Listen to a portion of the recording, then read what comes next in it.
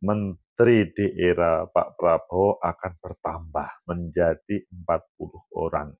Apakah ini pertanda untuk mengakomodir semua tim yang mendukungnya atau memang itu sebuah kebutuhan untuk memperkuat negeri kita menjadi yang lebih hebat. Bagaimana menurut kalian? Menurut analisis saya,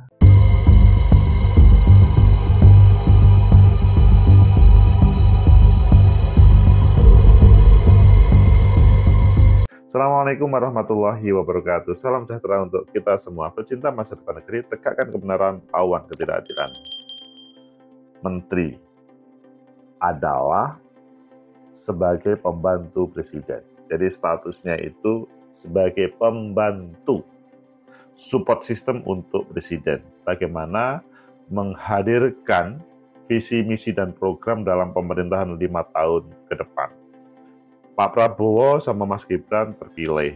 Jadi putusan Mahkamah Konstitusi sudah menyelesaikan semua konflik yang ada, tetapi ada tambahan 40 menteri.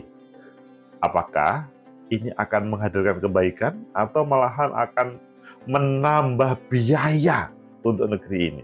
Ayo kita baca di beberapa media, selanjutnya nanti kita kupas apa di balik itu semua dan bagaimana solusinya. Pertama kita baca di detik Kementerian era Prabowo bertambah, ada sebuah pertanyaan besar. Mereka angkat bicara.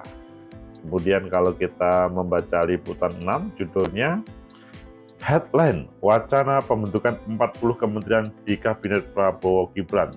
Plus minusnya, nah, jadi ada kalimat plus minusnya, ada sebuah tanda tanya besar. Dan yang terakhir adalah di Kompas, judulnya Jokowi Respon Wacana Prabowo Gibran Tambah Kementerian. Tanya ke Prabowo, pilih yang mana? Oke, kita pilih yang liputan 6 dan nanti kita tambahkan kepada yang lain. Headline wacana pembentukan 40 kementerian di Kabinet Prabowo Gibran plus minusnya adalah sebuah pertanyaan yang besar. Liputan 6.com Jakarta, wacana penambahan jumlah kementerian menjadi 40 pos, pos mencuat usai pasangan Prabowo Subianto Gibran Raka Buming Raka atau Rama memenangkan kontestasi Pilpres 2024. Kabar ini dibenarkan Gerindra partai penyokong utama pasangan nomor 2.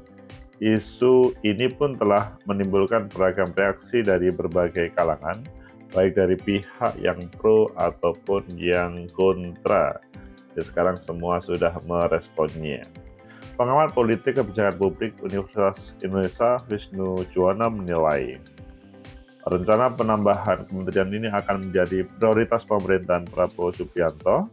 Gibran, kursi menteri yang diisi kader parpol disebut sebagai uh, sebagai bentuk akomodasi politik dibanding fungsi keahlian dan memilih kabinet.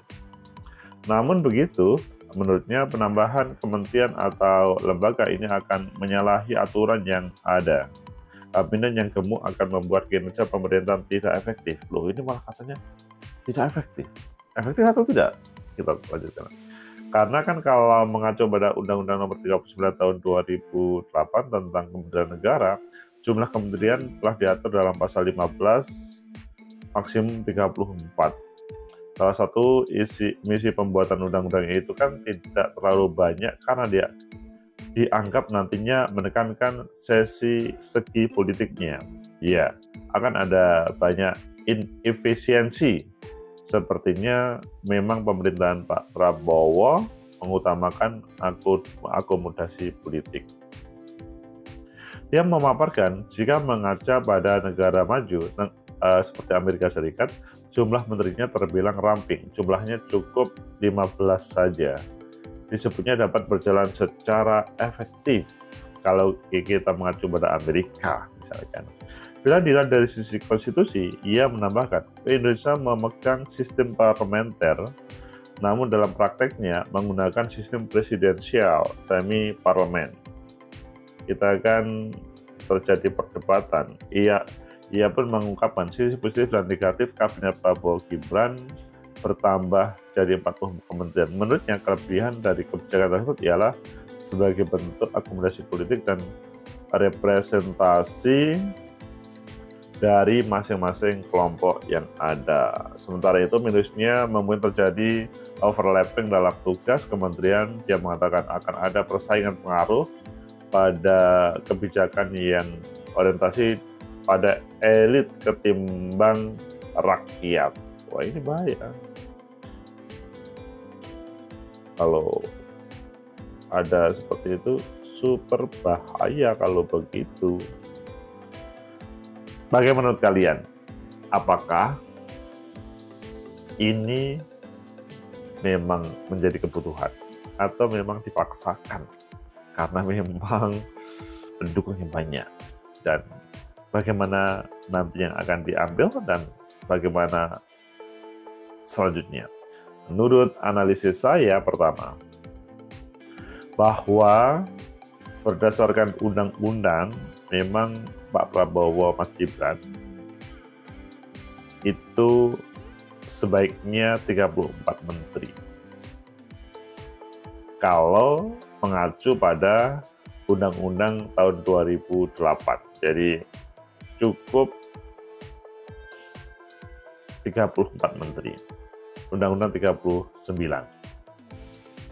Tetapi mungkin ada pertanyaan dari kalian semuanya Apakah undang-undang itu tidak bisa dirubah? Pasti bisa, apalagi sudah sekian tahun 2008 ke 2004. Tapi masalahnya, apa yang menjadi kebutuhan perubahan dari undang-undang tadi? Itu yang perlu mendapat jawaban sehingga undang-undang itu perlu dirubah atau tidak. Kalau menurut saya sih perlu ada evaluasi secara bersama apakah undang-undang itu perlu diubah atau tidak. Supaya nanti ada kepastian kementerian apa saja yang didudukkan. Tidak cukup pada Pak Prabowo untuk menambah menteri menjadi 40, tapi mana menteri yang perlu dikepras dan mana yang perlu ditambah. Itu kata kunci pertama. Supaya tidak nanti ada yang taruhlah mengolok-olok ataupun mengejek. Kata kuncinya evaluasi kementerian. Apakah selama dua periode kepemimpinan Pak Jokowi 2014 sampai 2024 atau pada waktu Pak SBY pada waktu uh, periode kedua itu terjadi inefisiensi atau tidak. Tentunya adalah orang-orang yang netral dalam proses diskusi atau memecahkan solusi ini. Keberadaan Pak Prabowo sama Mas Gibran cukup menjadi bagian sebagai penerima hasil diskusi tersebut, meskipun juga boleh dong untuk terlibat dan bahkan memberikan alasan A, B, C, D. Kemudian analisa yang kedua bahwa kemungkinan besar Pak Prabowo Mas Gibran akan tetap mengambil yang uh, lebih dari 34 Berbeda dengan Undang-Undang 39 2008 tersebut. Mengapa? Karena jelas pada pemilu 2024 yang support terhadap Pak Prabowo, Mas Gibran itu banyak. Bagaimana mengakomodir semua kekuatan yang ada. Secara politis menurut saya itu boleh-boleh saja. Tapi pasti ada yang mengkritik. Salah satunya adalah kok hanya para pendukungnya? Ya pastilah yang menjadi pilihan kepada atau kabinet Pak Prabowo Mas Gibran ya para pendukungnya hanya perlu diluruskan atau dihubungkan dengan profesionalisme sehingga dipastikan setiap partai politik itu kan pasti ada orang-orang hebat terkait dengan apa yang menjadi kebutuhan kementerian.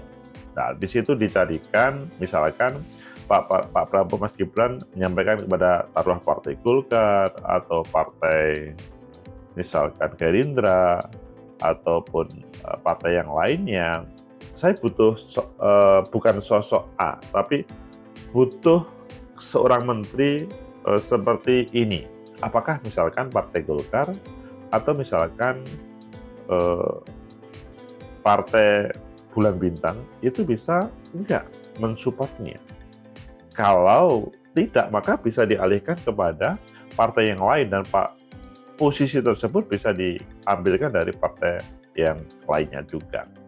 Intinya komunikasi yang baik bisa memberikan solusi untuk Pak Prabowo untuk menyelesaikan sehingga tidak nanti dihajar oleh publik oh ini kurang profesional ini orang partai ini kemudian nanti kemudian tidak tidak bisa tercover terkait dengan apa yang menjadi kebutuhan menteri jadi menjadi win-win solution. Kemudian yang ketiga apakah hal ini akan menghadirkan kebaikan untuk negeri atau bahkan menjadikan problem? Karena ini menambah sumber daya manusia yang lebih banyak dan akan lebih cari muka terhadap Pak Prabowo, saling berebut, saling desak untuk mencari muka kepada Pak Prabowo. Itu adalah salah satu yang perlu dihindari dalam proses penambahan kementerian dari 34 menjadi 40 karena betul, seseorang, para menteri-menteri itu pasti akan mencari muka, lapor muka, dalam bahasa Orde Baru itu asal Bapak senang, ABS itu akan muncul. Dan itu akan membahayakan, pertama membahayakan terhadap Pak Prabowo, karena dia tidak tahu bahwa ada sebuah problem, tapi kemudian dilaporkan baik-baik saja. Kemudian yang kedua adalah, yang kedua, akan membahayakan terhadap masa depan negeri. Karena apa?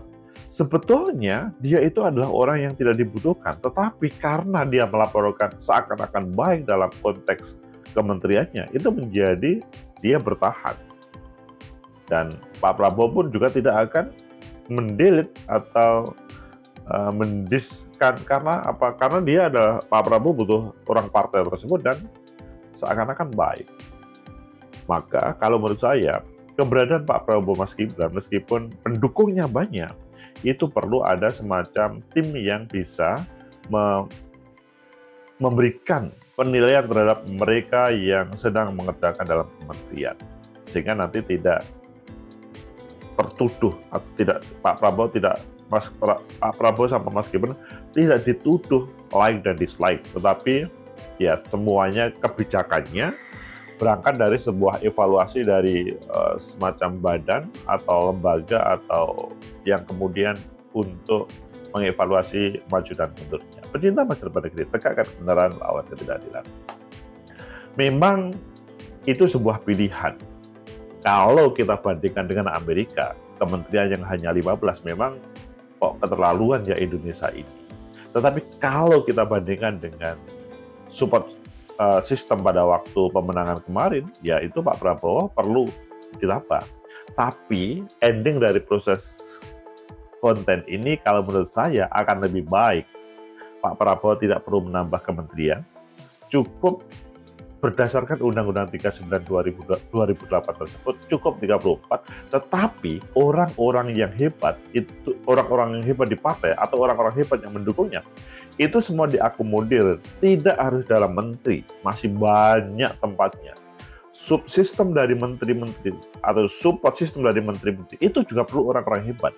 Di situ malahan menjadi semacam proses kaderisasi untuk menggantikan orang-orang yang nanti pada waktu sebagai menteri itu tidak profesional atau mempunyai catatan merah taruh dalam 100 hari dalam satu tahun berjalan. Pecinta masa depan negeri tegakkan kebenaran lawan ketidakadilan. Kita support aja terhadap Pak Prabowo Mas Gibran untuk bagaimana membangun negeri ini lebih baik, tetapi kita perlu juga mengingatkan supaya dia tidak terlena terkait dengan desakan dari berbagai orang yang mungkin membahayakan negeri ini. Karena mereka merasa sudah memberikan sumbangsih dalam pemenangan pada waktu 14 Februari 2024 itu. Tetapi bahwa mengakomodir itu penting. Dan Pak Prabowo menampilkan orang-orang yang tepat sehingga keberadaan partai-partai itu juga tetap mensupport tidak hanya politicking, tidak hanya karena kepentingan politik kemudian mereka terpilih atau mereka mengajukan sebagai calon sebagai menteri, tapi karena memang ada sebuah profesionalisme sehingga nanti keberadaan Undang-Undang 39 2008 itu tidak dilanggar. Adapun seandainya terjadi perubahan undang-undang juga memang merupakan kebutuhan supaya dunia internasional melihat, oh iya, Kalau Amerika bisa menjalankan negara dengan 15 kementerian, maka Indonesia tentunya tidak harus menambah kementerian juga bisa. Semoga bermanfaat. Like, subscribe, comment, and share. Sampai jumpa.